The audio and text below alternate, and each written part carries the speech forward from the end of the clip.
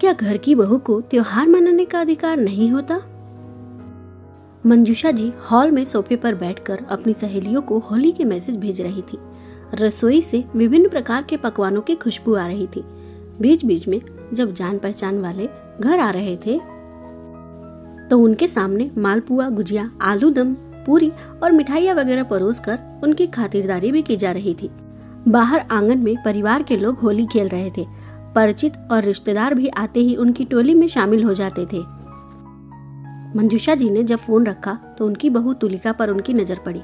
उसे देखते ही वो मुस्कुरा पड़ी। उनकी बहू गुलाबी रंग की साड़ी में बहुत प्यारी लग रही थी। उसके गोरे गालों पर लाल, हरे, पीले रंग के गुलाल बहुत खिल रहे थे।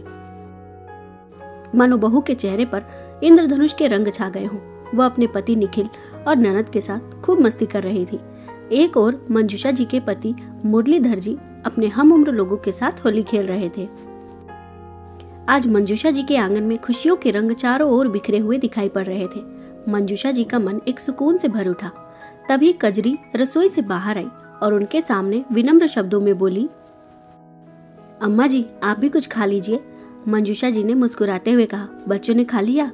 तो कजरी बोली, नहीं अम्मा जी, सभी लोग कह रहे थे कि आपके साथ ही बैठकर खाएँगे। मंजुषा जी ने कहा तो फिर थोड़ी देर बाद हम खा लेंगे. कजरी रसोई में चली गई तो मंजुषा जी ने पीछे से उसे आवाज़ लगाते हुए कहा, कजरी, तू भी खा ले, और काम खत्म हो गया हो तो बच्चों के लिए भी पकवान और मिठाइयों में से लेकर तू भी घर चले जा, तेरे बच्चे भी तेरी राह देख रहे होंगे. यह सुनकर कजरी का मुख प्रसन्नता से खिल उठा। कजरी लोगों के घरों में खाना बनाने का काम करती थी, और आज होली वाले दिन मंजूषा जी ने उसे काम करने के लिए बुला लिया था। क्योंकि वह नहीं चाहती थी कि नई बहू की पहली होली सारे दिन पकवान बनाने में ही बीते। वैसे तो सास बहू ने मिलकर बहुत सारी तैयारियाँ करवा दी थी। फिर कजरी ने आगे का काम संभाल लिया था। कजरी जब अपने घर चली गई तो मंजूषा जी को अपनी पहली होली याद आने लगी। उस समय उनके पति शहर में काम करते थे और उन्हें गाँव आने के लिए ज़्यादा लंबी छुट्टी नहीं मिल पाई थी। होली के दो दिन पहले ही उनकी सास ने उन्हें अपने कमरे में बुलाया और आदेश देते हुए बोली बहू, गाँव में हमारा बहुत मान सम्मान है। होली वाले दिन तुम्हारे ससुर जी के दोस्त दूर दूर से आते हैं। ऊपर से सभी रिश्तेदार यहाँ होली मनाने आते हैं। इसलिए इस बार सारा इंतज़ाम तुम्हें ही देखना होगा। बहू, तुम होली में दिन भर रसोई में ही रहना और जो लोग तुम्हें रंग लगाने आए, चुपचाप आँगन में निकलकर रंग लगवा लेना और फिर रसोई में चली जाना। होली में दिन भर बहुत सारे मेहमान आते हैं तो तुम्हें सारे पकवान अकेले ही बनाने होंगे। नई बहू की पहली होली थी। वो रुआसी हो गई। और फिर होली वाले दिन मंजुषा जी सारा दिन रसोई में ही लगी रही। उनके पति भी घर पर नहीं थे, जो उनका साथ देते। ससुर जी तो घर के मामले में कुछ बोलते ही नहीं थे, और चूँकि वो नई बहू थी, इसलिए सासू माँ की बात का विरोध नहीं कर पाई। हाँ यह बात और थी कि कुछ सालों के बाद वो पति के साथ शहर चली आई थी, और उसके बाद उन्हें होली वाले दिन इतना ज़्यादा काम नहीं करना पड़ता था, और वह भी त्योहार का आनंद उठा पाती थी। लेकिन उन्होंने अपने बेटे निखिल के जन्म के समय ही तय कर लिया था कि जब उनकी बहू आएगी, तब वह उसे ऐसी परेशानी नहीं उठाने देगी। आज तुलिका को हँसते मुस्कुराते हुए त्योहार का आनंद लेते देखकर मंजुषा जी की आँखों के कोर नम हो चले थे। लेकिन उनके हृदय में आनंद की लहरें उमड़ रही थी कि परिवार का प्रत्येक सदस्य त्योहार का आनंद ले पा रहा था। वरना कई परिवारों में तो घर की बहू सारा दिन रसोई में ही लगी रह जाती है और त्योहार तो केवल नाम मात्र के लिए ही मना पाती है। लेकिन उनके घर में ऐसा नहीं था। तभी तुलिका हँसते हुए हाथों में गुलाल लेकर आई और उसने अपनी सास के पैर छूकर उनके चेहरे को गुलाल से रंगा और कहने लगी, मम्मी जी, आप यहाँ अकेली खड़ी होकर क्या कर रही हैं? चलिए, वहाँ चलकर होली खेलते हैं। बहू के उत्साह को देखकर मंजुषा जी खुशी खुशी उसके साथ सभी लोगों के बीच में चल पड़ी। जैसे ही वो आँगन में पहुँची तो उनकी पड़ोसन भी वहाँ आ पहुँची। पहले उन्होंने मंजुषा जी को रंग लगाया। फिर कहने लगी कि इस बार तो बहू आ गई थी, फिर भी तुमने कजरी को बुलाया। अरे बहू के आने के बाद तो सारे पकवान उससे ही बनवाने चाहिए थे ना? बेकार में कजरी को बुलाकर तुमने रुपए बर्बाद किए। आज बहू ज़िम्मेदारी नहीं उठाएगी तो देखना, आगे चलकर बहुत लापरवाह बन जाएगी। मुझे देखो, मेरी बहू को सुबह से अभी तक रसोई से सिर निकाल कर बाहर झांकने तक की फुर्सत नहीं मिली है। शाम तक उसे रसोई में ही रहना होगा।